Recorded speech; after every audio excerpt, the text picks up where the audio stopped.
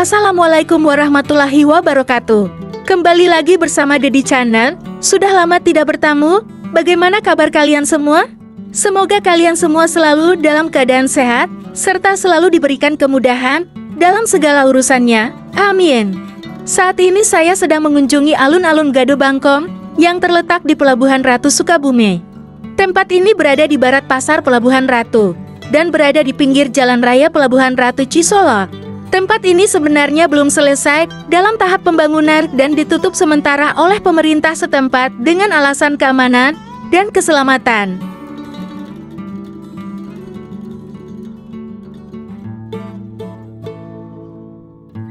Meskipun tempat ini ditutup sementara, namun warga yang berdatangan untuk menyaksikan tempat ini dan menikmati pantainya juga cukup banyak.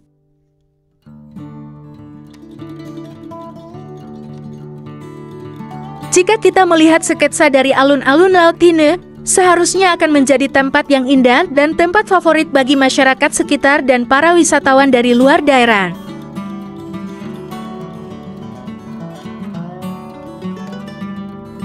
Penampakan alun-alun Gado Bangkong dari atas sangat indah dan menarik bukan?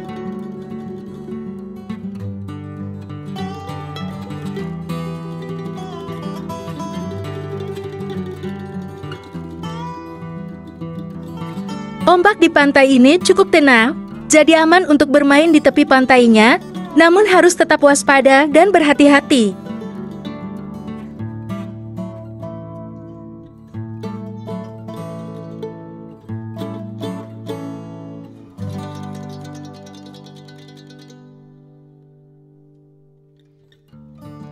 Beberapa anak-anak setempat juga bermain selancar di pantai ini karena ombaknya cukup bagus untuk berselancar.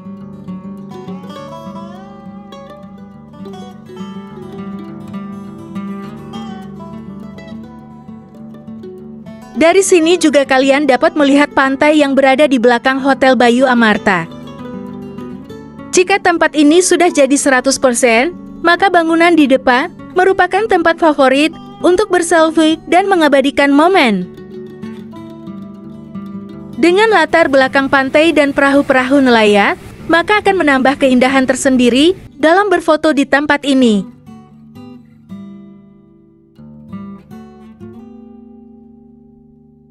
Kegiatan yang bisa kalian lakukan di pantai ini adalah bermain pasir dan mencari kepiting-kepiting kecil atau rajungan.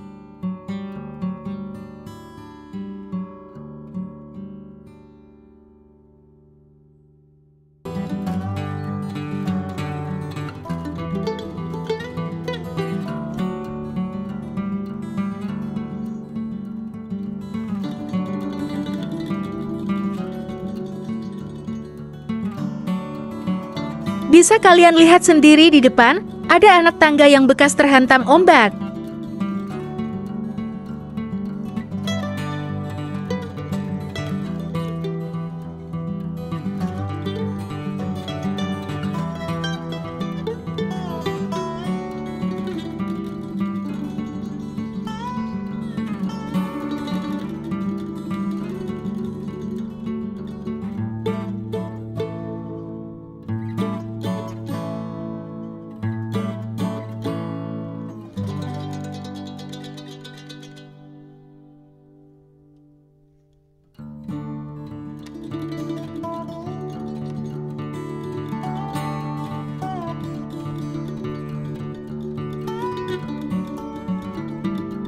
Jika kalian sudah puas bermain di alun-alun pantai ini, kalian juga bisa mampir ke Pasar Ikin yang letaknya tidak jauh dari sini.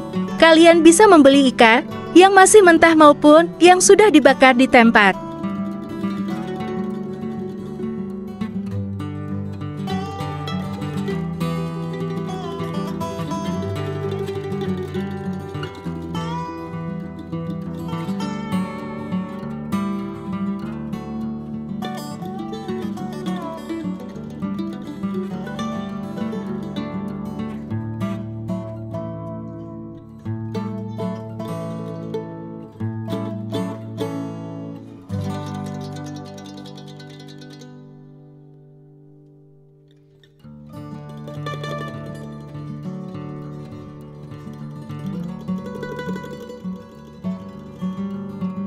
Mungkin cukup sekian jumpa kita pada kesempatan kali ini. Jangan lupa like dan subscribe ya.